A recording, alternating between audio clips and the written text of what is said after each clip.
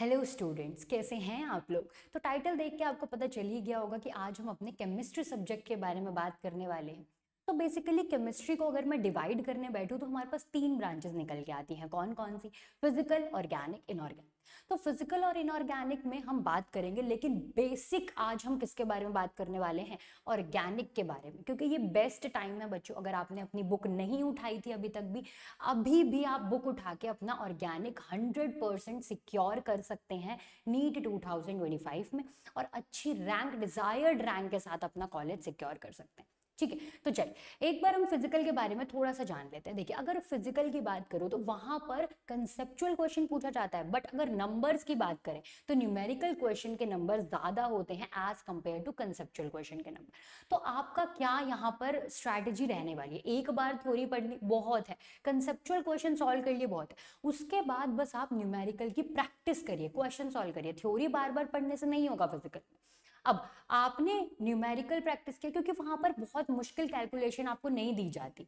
Physics आप पढ़ते हैं, उतनी आपको कैलकुलेशन आती है। तो नॉर्मल वो आपको फॉर्मूला पूछेगा। फॉर्मूला में आप सारी वैल्यूज़ पुट करेंगे एक्स वाई जी निकाल देंगे, आपका क्वेश्चन एज इट इज़ चार नंबर आपको दे के चला जाएगा। ठीक है, अब हम बात करते हैं ऑर्गेनिक केमिस्ट्री की।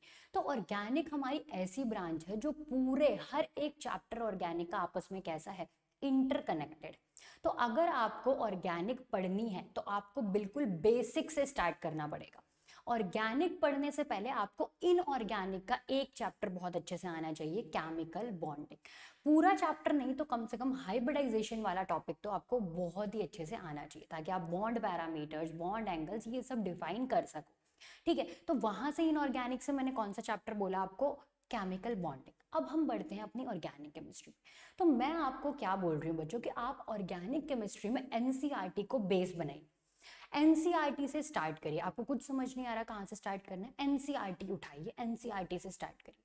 ऑर्गेनिक केमिस्ट्री एकदम लॉजिकल थिंकिंग पे बेस्ड तो आपको सिक्वेंशियल चलना होगा। कोई भी चैप्टर बीच में से उठा के आप नहीं पढ़ सकते ऑर्गेनिक आपको सीक्वेंशियली ऑर्डर में जैसा एनसीईआरटी ने दिया है, वैसे ही प्रोसीड करना है।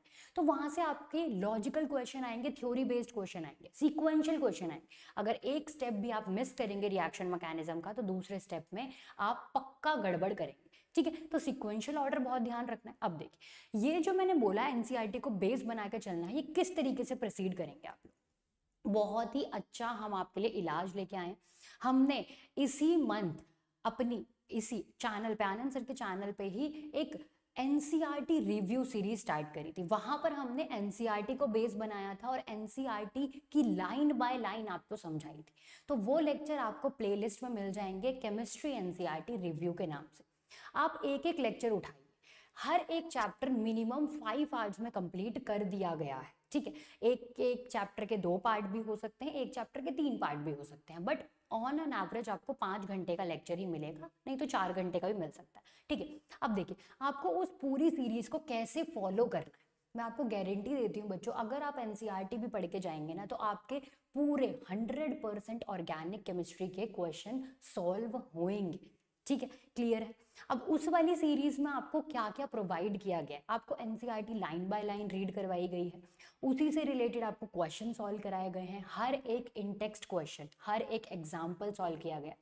अब उसी टॉपिक से रिलेटेड पर्टिकुलरली प्रीवियस ईयर में पूछा हुआ क्वेश्चन भी सॉल्व कराया गया।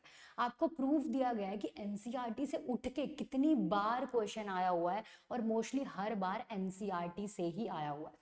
थोड़ा सा लैंग्वेज ट्विस्ट होगा। आपको मैंने वहीं पे बता दिया है कि किस तरीके से क्वेश्चन की अप्रोच करनी है, कैसे लैंग्वेज को अपने आसान भाषा में समझना है, किस तरीके से चार नंबर आपको अपने हाथ में रखने ठीक है तो उस सीरीज़ में आपको इतना कुछ मिलता है।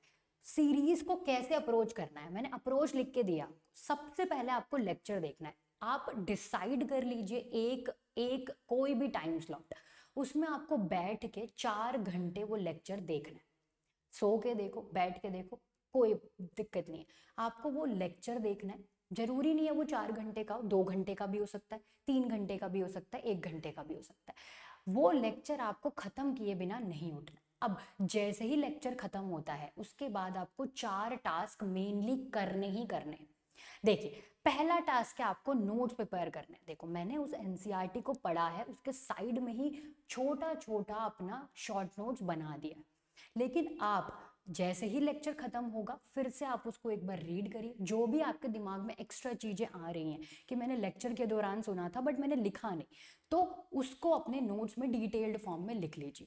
अब वहीं पे आप इन टेक्स्ट क्वेश्चन सॉल्व कीजिए और एग्ज़ाम्पल और पी वाई क्यू पर्टिकुलर एक ही टॉपिक के नीचे सब कुछ लाइन वाइज सॉल्व करते हुए चलिए। ठीक है? याद रखेंगे आप एनसीईआरटी पढ़ ली है, अब कहीं और, किसी और के नोट्स पे नहीं जाएँगे। मैंने स्ट्रिक्टली लिखा है कि स्टडी योर ओन नोट जितना अपने नोट से आसानी होती है पढ़ने में, उतना किसी के नोट से आसानी नहीं होती। ठीक है?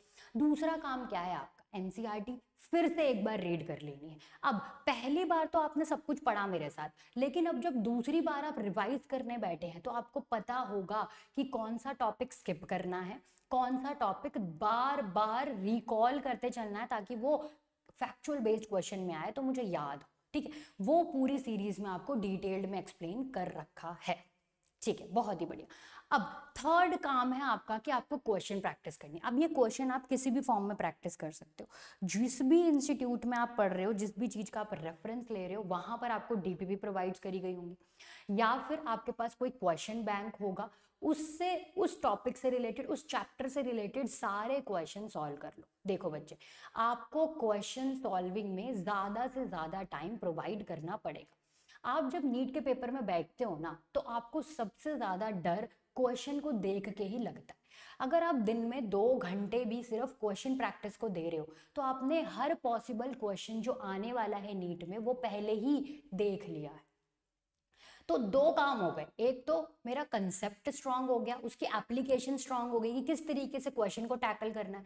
दूसरा, जो मेरा डर था कि नीट में बैठूँगा, ये पूछ लिया, वो पूछ लिया वो निकल गया, क्योंकि मैंने इतने सारे क्वेश्चन देख लिए हैं, अब क्या ही नया पूछ लेगा? क्लियर होती है। तो हम सबसे ज़्यादा फोकस करेंगे किस क्वेश्चन प्रैक्टिस वाले पार्ट को। लास्टली आपको ना शॉर्ट नोट्स प्रिपेयर कर।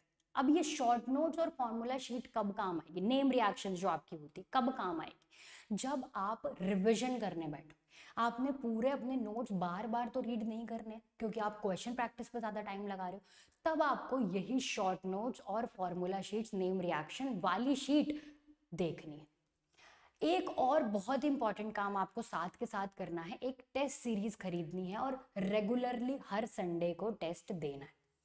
अगर आपको सच में नी 2025 को फोड़ना है तो आपको कोई भी संडे विदाउट टेस्ट नहीं मिस कर। क्लियर होती है इतनी बात? अगर आपका जो भी टेस्ट है, जिस भी इंस्टीट्यूट में टेस्ट हो रहा है, उसका टॉपिक भी नहीं आता है, फिर भी आप टेस्ट देने जाओगे। होता क्या है कि आप एक बार टेस्ट मिस कर दो एक बार टेस्ट मिस कर दिया, कोई भी बहाना था, मैं बीमार था, मेरी तैयारी नहीं थी, अब आपको हैबिट बन जाएगी कि अगला टेस्ट भी मिस कर दूँ फिर अगला टेस्ट भी। और ये करते करते आपको फिर से वही हो जाएगा कि चलो नीट का ये अटेम्प्ट भी गया, अब अगले साल ट्राई करेंगे तो वहाँ तक बात पहुँचने ही नहीं देनी है। हमें हर संडे टेस्ट देते हुए चलना। ठीक है? अब देखिए, ये तो हो गई हमारी पूरी स्ट्रैटेजी कैसे आपको ऑर्गेनिक केमिस्ट्री को टैकल करना है। अगर आपको बिल्कुल नहीं आता तो बेसिक से इस तरीके से स्टार्ट कर दीजिए। दूसरी बात, कुछ चीज़ों का आपका बहुत ध्यान रखना है थ्रू आउट योर प्रिपरेशन सबसे पहली चीज़, आपको पीएचडी नहीं करनी है केमिस्ट्री में, आपको सिर्फ़ अपने सिलेबस तक का ही पढ़ना है। जो भी आपको पढ़ना है बायोलॉजी को टाइम दीजिए फिजिक्स को टाइम दीजिए। बिल्कुल आपको स्टिक टू सिलेबस मेरा एक सिंपल कहना है स्टिक टू सिलेबस जितना सिलेबस में दे रखा है, उतना ही पढ़िए। बिल्कुल आपका नीट का पेपर हो जाएगा, उसके टाइम उसके बाद आपको टाइम मिलता है, पढ़िए। जितनी बुक्स हो सकती है, उतनी बुक्स पढ़िए। क्लियर होती है इतनी बातें। दूसरा, जब भी आप क्वेश्चन प्रैक्टिस करने बैठेंगे आप अपने टाइमर के साथ बैठेंगे। आपको टाइम मैनेजमेंट में बहुत ध्यान रखना है। आपका पूरा केमिस्ट्री का सेक्शन मिनिमम 50 मिनट्स में सॉल्व होना ही चाहिए। मतलब वो मैं मिनिमम क्यों बोल रही हूँ? मैक्सिमम आपको फिफ्टी मिनट्स ही लगने चाहिए। बहुत ज़्यादा बोल दिया। अभी आपकी स्टार्टिंग है, इसलिए फिफ्टी बोल रहे हैं। आगे जब स्ट्रैटेजी वीडियोस और आएँगे तो मैं टाइम कम करती चलूँगी आपका।